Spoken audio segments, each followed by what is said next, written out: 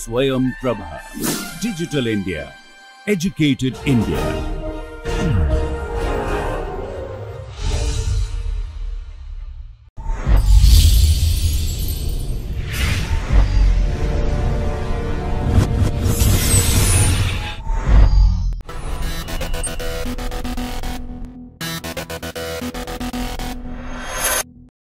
Okay, welcome back. So, what we wanted to, uh, what we did last time is to talk about signs of permutations.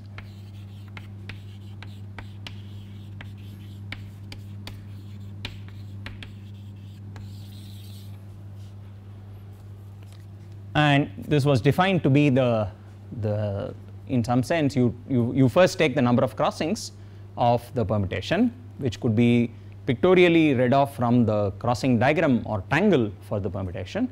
And then if it is even, then you, you declare the sign to be plus 1 and if the number of crossings is odd, you declare the sign of the permutation to be a minus 1, okay, also called even and odd permutations. Now, uh, I wanted to do a few more examples of these. So, let us try and find signs of cycles. So, here is two examples. So, if you take uh, n to be 4 and you take the permutation pi to be the cycle 1 2 3 4. So, which I will write first in 2 line notation 1 going to 2, 2 going to 3, 4 1. So, this is the, the cycle written in 2 line notation and also notice that the other notation for permutations that we looked at is what we call cycle notation. So, in cycle notation the same permutation would be just represented by the, the 4 numbers 1, 2, 3, 4 written in brackets. Okay. This is to be thought of as meaning 1 goes to 2, goes to 3, goes to 4, goes back to 1. Okay. So, what is the sign of this pi? So, that is the question. So, let us draw the, the tangle diagram for pi. So, 1 maps to 2, 2 maps to 3, 3 maps to 4 and 4 maps to 1. Okay, so, here is the tangle diagram for pi. This satisfies all the rules for drawing tangle diagrams correctly. So, the number of crossings is 1, 2 and 3. So, the number of crossings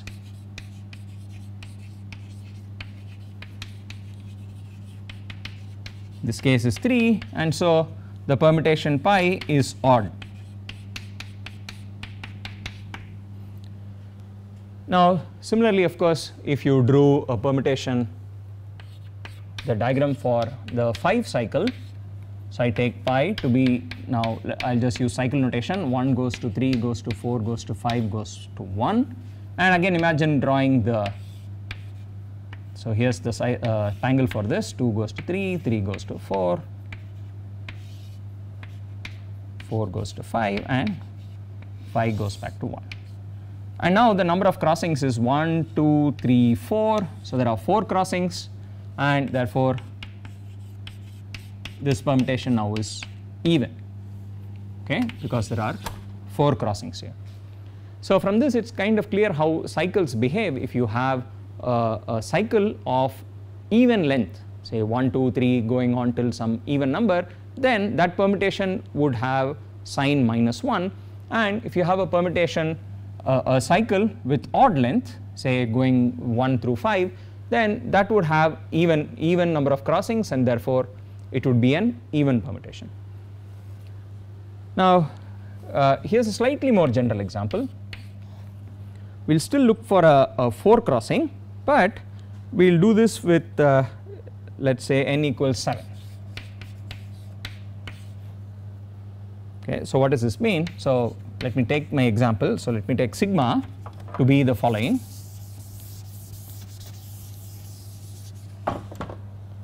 It is a 4 cycle which sends 1 to 3 to 5 to 7 and then it leaves the remaining numbers as it is 2 4 6 okay so here's the permutation sigma written out in cycle notation. So recall what does this really mean? So let's draw the tangle diagram for this. So let me first draw 1 3 5 and 7 so here's 1 3 5 7 So what this permutation does is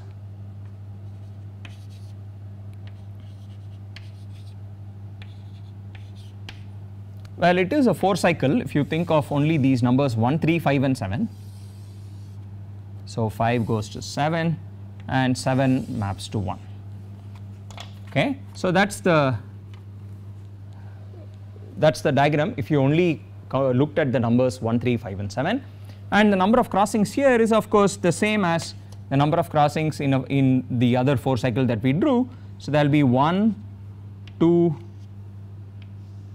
3. So there are exactly 3 crossings okay, as far as these 4 numbers are concerned. But of course we still need to throw in the other numbers. So for instance there is 2, 4 and 6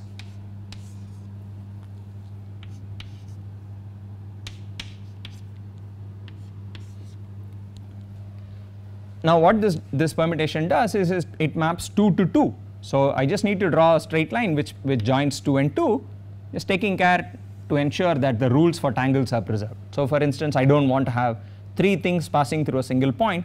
So when I join 4 to 4 I just need to take a little care to ensure that it does not pass through the same point. So similarly 6 to 6 okay. So here are uh, the 3 extra curves that you need to throw in 2 going to 2, 4 going to 4 and 6 going to 6 okay. So now in addition to the 3 crossings that you already had amongst the, the lines which joined 1, 3, 5 and 7 what we now have are well a few more lines a few more crossings. So let us count the number of crossings. So observe that the red line which joins 2 to 2 it accounts for 2 crossings because it meets the line joining 1 to 3 as well as the line joining 7 to 1. So there are 2 crossings the line the red line which joins 4 to 4 again accounts for 2 crossings the red line joining 6 to 6 again accounts for 2 crossings okay.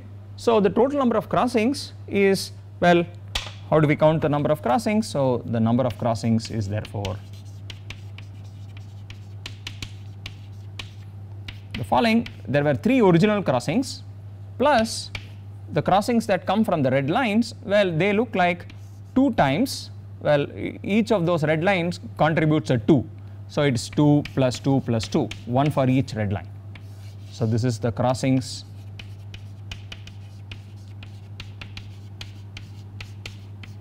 involving the red lines.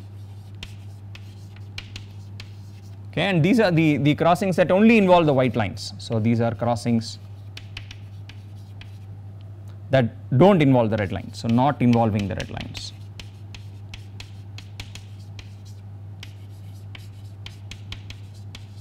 So i should say these are crossings that involve at least one red line. So involving a red line Okay, so you, you count the crossings in, in these different ways. You look at the crossings in which at least one of the two curves is a red line that's counted by this and then you look at the crossings in which you don't think about the red lines at all only look at the white lines. And so since we are only interested in whether or not this the number of crossings is even so observe that the number of crossings in this case is still odd because it really only depends on whether the, the original number of crossings was, was even or odd, the number of crossings not involving the red lines. Okay. So this turns out to be the, the general phenomenon. So if you wrote down a permutation like this, so a permutation like a, a sigma here, you would often also call this a 4 cycle. It really only permutes these 4 numbers in a cyclical fashion, it does not do anything to the other numbers. So when you have a, a, permutation like this, the sign of this permutation is just the same as the sign of the, the underlying 4 cycle, okay, which is it's, it's an odd permutation. Or if say this were a 5 cycle and these were all being mapped to themselves, the sign of this would just be the sign of that, that 5 cycle portion. Okay. So this, this observation here is um, sort of it's, it's very useful. So the number of crossings is odd therefore the sign of sigma is in fact minus 1. So let us just do a more complicated example now which tells you how to put two different cycles together So let's take this example now. Again, let's take n equals 7. Let's take a permutation which maps 1, 3, 5, 7 to themselves, but let's now do 2, 4, 6 also map cyclically amongst themselves. Okay, so it's a this notation here remember means that 1, 3, 5 and 7 form a 4 cycle and then 2, 4, 6 amongst themselves form a 3 cycle. Now the question is what is the sign of such a permutation?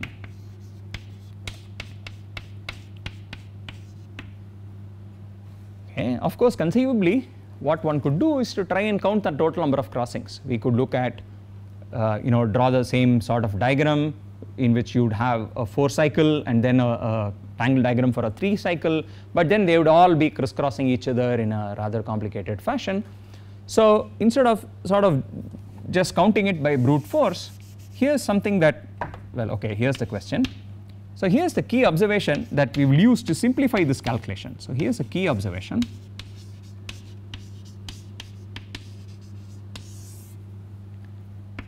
You can think of pi as really being the following. Pi can be thought of as being the composition of two permutations. So remember we talked about the composition of permutations. So this is sigma 1 composed with sigma 2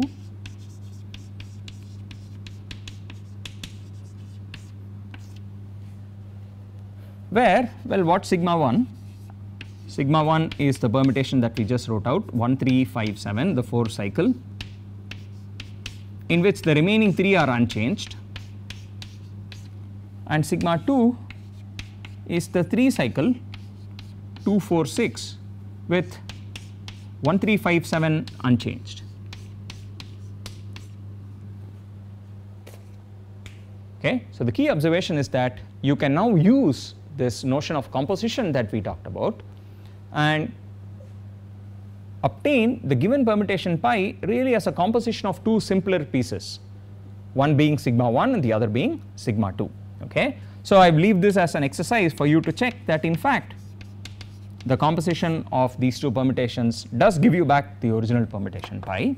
So now we go back to this whole business of sign and the relationship of sign to composition and so on. So recall from before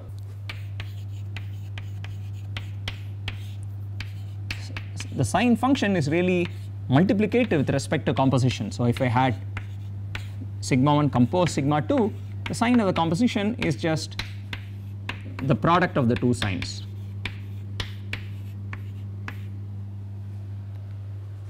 Okay, so this is really the uh, you know the, the important reason why compositions are are especially suited when you want to try and understand signs. If you can write your original permutation as a composition, then the sign is just a product of the signs of the, the individual constituents. So here it's just a sign of pi 1, uh, sigma 1 and sign of sigma 2, but observe we have already talked about how to understand the sign of sigma 1 okay, and that's exactly the thing that we wrote out here. Sigma 1 is really the permutation which, which cyclically permutes 1 3 5 7 and does nothing to 2 4 6. So it's the sign of, of sigma is really just the sign of whatever this, this 4 cycle part is. Okay. The things which map to themselves, the red lines so to speak, always contribute an even number of crossings. So they do not really contribute to the sign of the permutation. So the sign of sigma 1 would really just be the sign of the 4 cycle, so which is minus 1 as we said and similarly the sign of sigma 2. So notice sigma 2 in our definition was just the 3 cycle 246 and in which the remaining just map to themselves. So they are sort of like the red lines in our picture they will contribute an even number of crossings and we only really need to worry about the number of crossings between which only involve the lines joining 2, 4 and 6. So here it is a sign of the 3 cycle 2, 4, 6 which is a plus 1 okay and so putting these together the sign of the original permutation pi is just the product of these two signs therefore it is a minus 1 okay. So here is a way of really understanding uh, signs by making full use of this whole uh, of, of composition as an operation. So and finally using this, this business here's uh, the last thing that uh, would be nice to do in this business. If you have n uh, let us say a natural number let us do the following. Total number of permutations.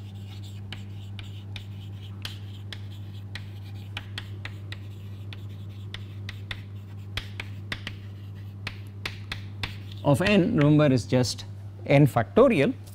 So, for n equals 4 for instance, so recall this uh, old table that we talked about the notion of cycle types or cycle structure. So, the various cycle types that we talked about you can have a 4 cycle or you can have a 3 cycle and a 1 cycle, you can have a 2 cycle and another 2 cycle 2 cycle and 2 1 cycles or 4 1 cycles. These are the various possible cycle types when you are trying to permute 4 numbers. And the number of permutations of each type. So, the number of permutations of each of these cycle types we had worked out before. It is uh, 6, 8, 3, 6 and 1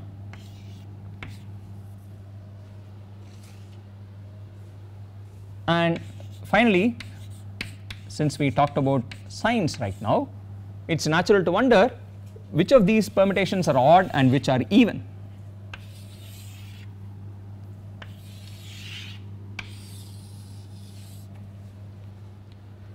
Okay, so we could ask uh, which of these permutations are odd and which are even and we already have the, the techniques to, to answer these questions.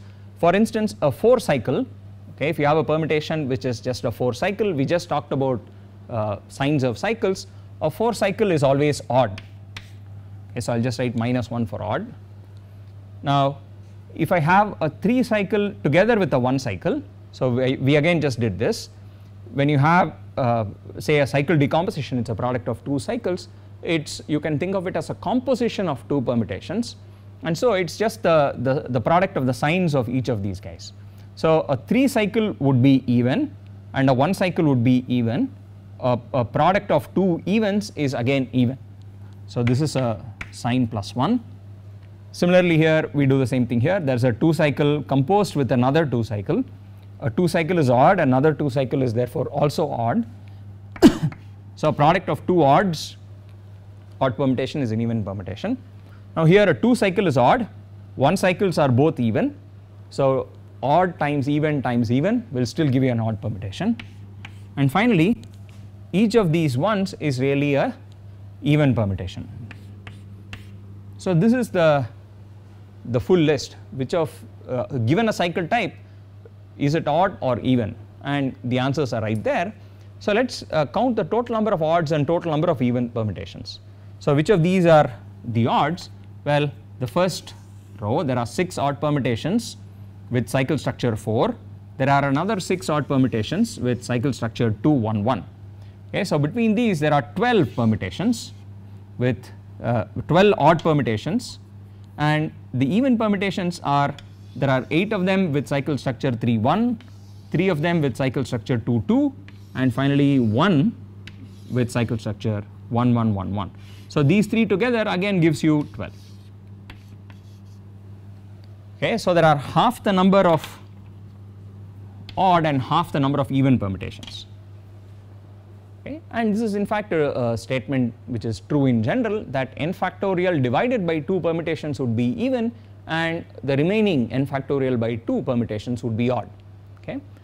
So uh, it's, it's probably a nice exercise to try and prove this fact that in general half the number of permutations are odd and the other half are even. So let me just state this as as a problem, problem prove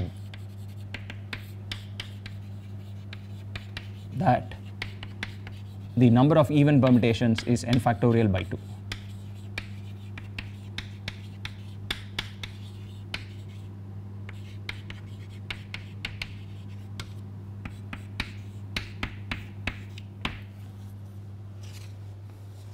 Okay and another exercise is to try and work out this table that I just did for n equals 5. Okay, so here's another exercise problem that I'd like you to try out uh, is to, to work out this table. So uh, write down the entries of this table for n equals 5. So the same table that we just drew. Okay, write out all the possible cycle structures for n equals 5 and for each of them work out the number of permutations with that cycle structure. And also work out whether that permutation would be an odd permutation or an even permutation. And from that conclude that you know at least uh, see that half of n factorial. So 5 factorial in this case is 120 so you should get 60 even permutations and 60 odd permutations in all. Okay? So okay. So next time we'll talk a little bit more about uh, permutations